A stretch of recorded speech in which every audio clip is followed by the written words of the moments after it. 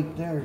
Yeah, I mean, so you see it's a lot less counterweight there. See, Isn't that something? and so uh, that one there has already been bullnose. Feel, see how I, I, I felt it. I felt that's And see- actually really good. Oh yeah, yeah. That that right there, that, and then on the back, we probably want to come in here and uh, put uh, put a point on the back of that thing, not a point. Yeah, you know, but- taper it off. Sure. Because what happens is, if you got uh, like a tractor trailer going down the road, you know how the air's blowing in behind it Yeah, and actually yeah. creating turbulence. Well, if you've got that thing come in into a like a boat tail speedster, Yep. you know they're tapered back like that to keep from having the windage behind it. My brother actually designed a big egg-looking thing that go went on the back of the tractor trailers. Okay. And somebody used that design, and that's where they came out with those plates that come off of the Okay. back.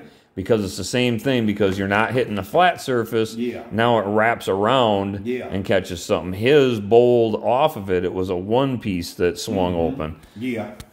And see, it's the same principle as a parachute. You know, you see a parachute ballooned out there. Yep. First thing you think of is the air rushing into it is what slows you down. It's the air, it's the vacuum behind it. Going over it. It creates a vacuum. So this right here creates a vacuum. Okay, and so it's pulling. And that creates windage, and that creates windage, and your oil is